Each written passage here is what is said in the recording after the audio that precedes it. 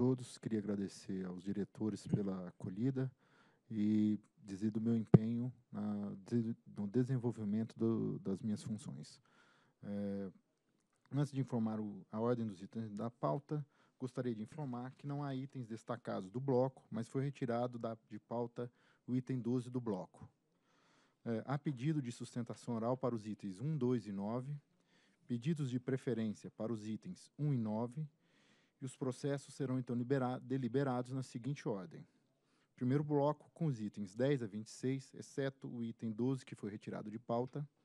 Depois, é, vamos passar a ordem dos demais processos é, na seguinte ordem: 1, 9, 2, 3, 4, 5, 6, 7 e 8. Informa ainda que os processos do bloco tiveram a disponibilização dos votos e atos desde a quinta-feira passada. Ok, você pode chamar o bloco, então. É, em votação, os itens do bloco 10, 11, 13, 14, 15, 16, 17, 18, 19, 20, 21, 22, 23, 24, 25 e 26. Então, submetemos à votação os itens do bloco. Voto pela aprovação dos itens do bloco.